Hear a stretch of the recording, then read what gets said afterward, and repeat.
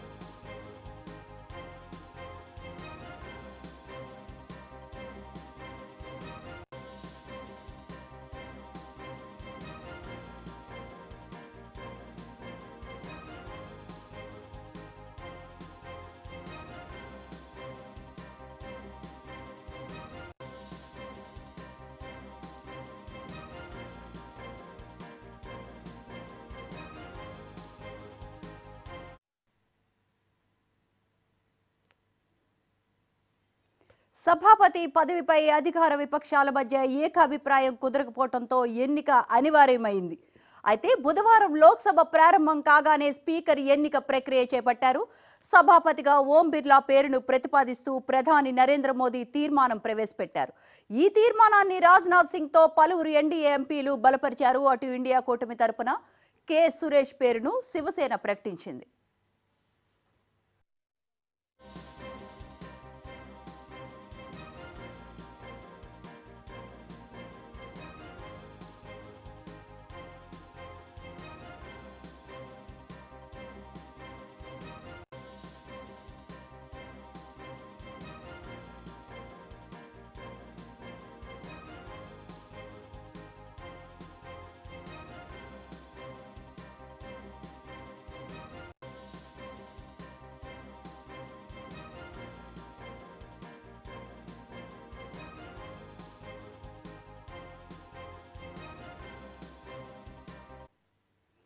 MP Arvind Sawant ఈ తీర్మానాన్ని తీసుకొచ్చారు. దీన్ని పలువురు విపక్ష ఎంపీలు బలపరిచారు.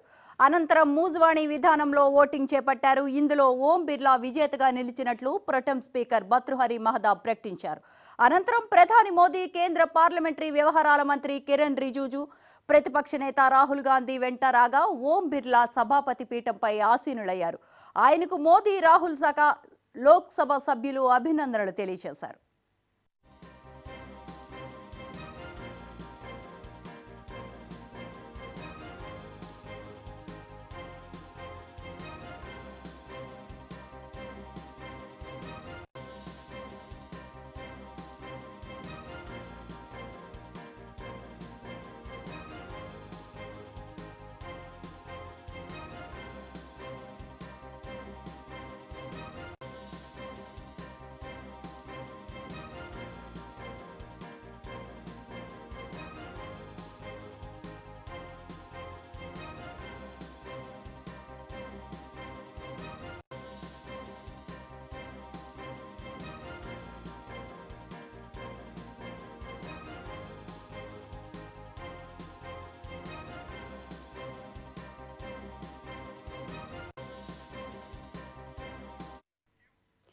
స్పీకర్ పదవిని వరుసగా రెండు సార్లు చేపట్టిన ఐదో వ్యక్తి Om Birla.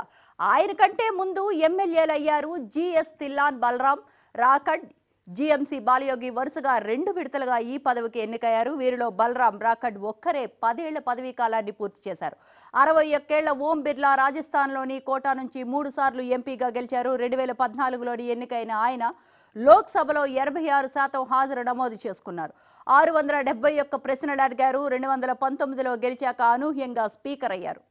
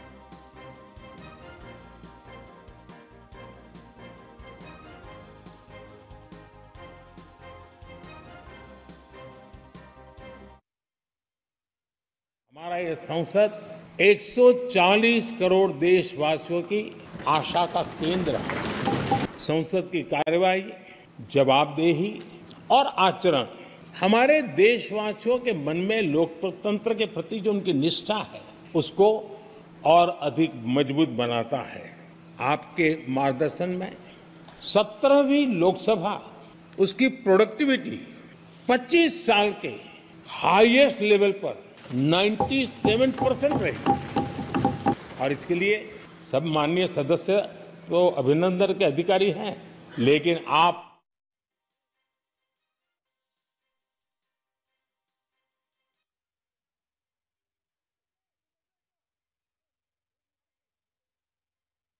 I'd like to congratulate you for your successful election for the second time that you have been elected. I'd like to congratulate you on behalf of the entire opposition, on behalf of the India Alliance. Speaker, sir, this House represents the voice of India's people. And you, Speaker, sir, are the final arbiter of that voice. Of course, the government has political power, but the opposition also represents the voice of India's people. And this time, the opposition represents significantly more voice of the Indian people than it did last time. Speaker, sir, the opposition would like to assist you in doing your work. We would like the House to function often and well. Speaker, sir, it is very important that cooperation happens on the basis of trust. It is very important that the voice of the opposition is allowed to be represented in this House. I'm confident that you will allow us to represent our voice, allow us to speak, allow us to represent the voice of the people of India. Speaker, sir, the question is not how efficiently the House is run. The question is how much of India's voice is being allowed to be heard in this House. So the idea, Speaker sir, so the idea that you can run the House efficiently by silencing the voice of the opposition is a non-democratic idea.